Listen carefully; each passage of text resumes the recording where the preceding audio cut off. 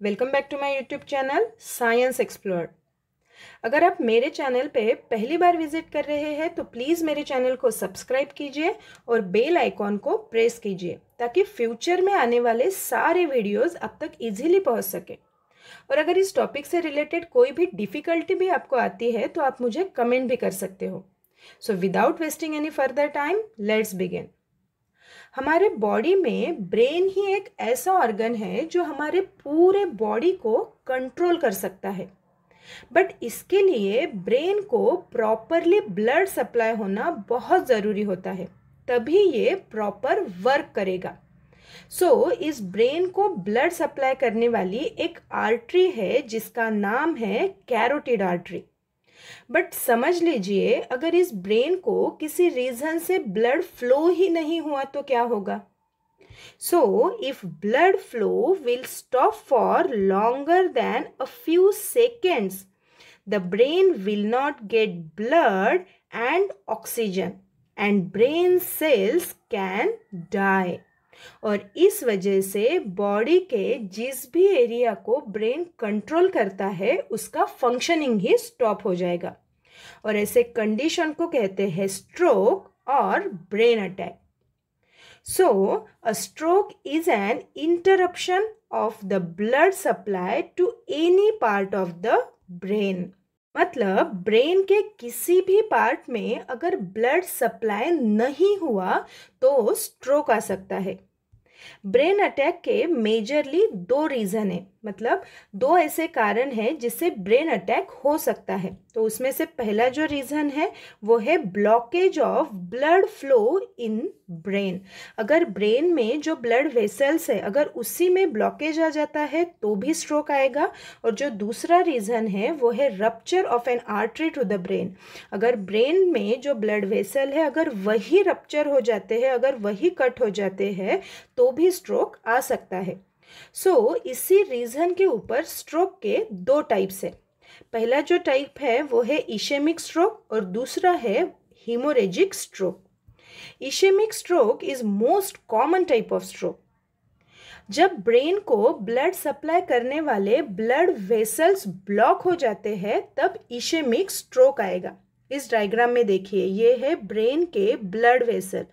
तो इसमें अगर थ्रोम्बस फॉर्म हो जाते हैं थ्रोम्बस दैट मीन्स अगर वहाँ पे ब्लड क्लॉट हो जाता है तो ब्रेन को प्रॉपरली ऑक्सीजन सप्लाई नहीं होगा और उस टाइम पेशेंट को इशेमिक स्ट्रोक आ जाएगा।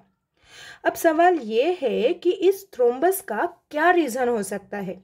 सो so, इसका रीज़न है एथेरोस्क्लेरोसिस एथ्रोस्क्लेरोसिस मतलब जिस ब्लड वेसल से ब्रेन को ब्लड सप्लाई होता है अगर उसके इनर लाइनिंग पे फैट डिपॉजिट हो जाता है तो उसे कहते हैं एथेरोस्क्लेरोसिस सो so, इस फैटी डिपॉजिट या एथ्रोस्क्लेरोसिस से इशेमिक स्ट्रोक आता है। इशेमिक स्ट्रोक के दो टाइप्स हैं। पहला जो टाइप है, वो है थ्रोम्बोटिक स्ट्रोक और दूसरा है इम्बोलिक स्ट्रोक अब ये थ्रोम्बोटिक स्ट्रोक क्या होता है?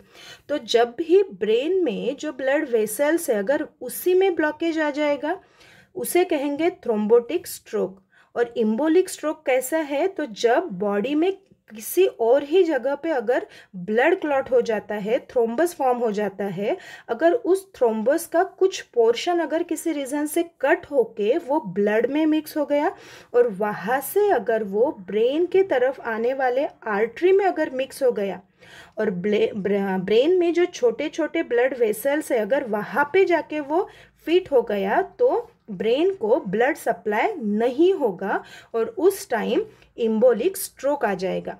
तो ये दोनों टाइप होते हैं इशेमिक स्ट्रोक के।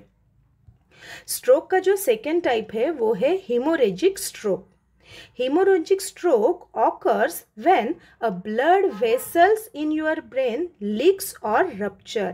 अगर ब्रेन में जो ब्लड वेसल्स है, अगर वो किसी एक्सीडेंट से अगर रप्चर हो जाते हैं कट हो जाते हैं तो भी स्ट्रोक आएगा और उस स्ट्रोक का नाम होता है हीमोरेजिक स्ट्रोक इस स्ट्रोक के भी दो टाइप है तो सबसे पहला जो टाइप है, वो है सब एर्केनॉइड हीमोरेज और दूसरा जो है वो है इंट्रासेरेब्रल हीमोरेज पहला जो टाइप है वो है सब एर्केनॉइड हीमोरेज इस टाइप के स्ट्रोक में स्कल और ब्रेन के बीच वाले जगह पे अगर ब्लीडिंग होती है तो स्ट्रोक आएगा और उसे कहेंगे सब एर्केनॉइड हीमोरेज और जो दूसरा टाइप है, उसमें क्या होता है, जो ब्रेन है तो ब्रेन के इनर साइड में अगर ब्लीडिंग होती है तो उस टाइम स्ट्रोक आएगा और उसका नाम है इंट्रास्टेरेब्रल हीमोरेज तो ये दोनों टाइप हुए हीमोरेजिक स्ट्रोक के.